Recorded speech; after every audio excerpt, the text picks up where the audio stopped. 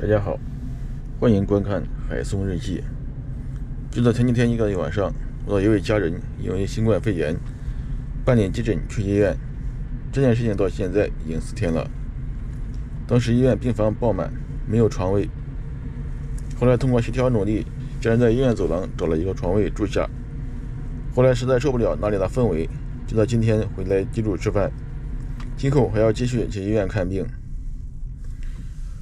再回来以后，我们知道了前一段时间全面开放后让人心痛的惨状。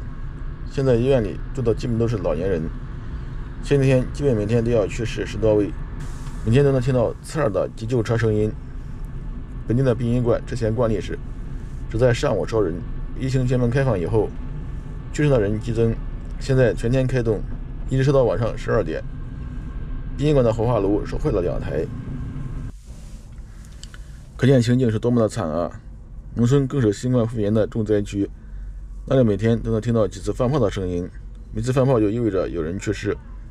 就在昨天，我的一位邻居，他是本地国企退休职工，说他们单位这几天一天平均去世二十位退休职工。上面就是这些天听到身边亲人所说的疫情全面开放后的惨状。就在这几天。看似平静的城市，实则暗流涌动。多少人在与病魔殊死搏斗？多少人被病魔无情的夺走？很多人说，此次疫情开放的太过于突然，让人们猝不及防。同时，某些专家的蛊惑，让人们对这个病毒重视不够，没有做好相关的防护。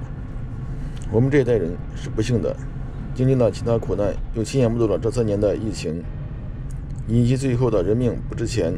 二零二三年，新的年来到了，在这新的一年开始看未来，其实是看不到希望的。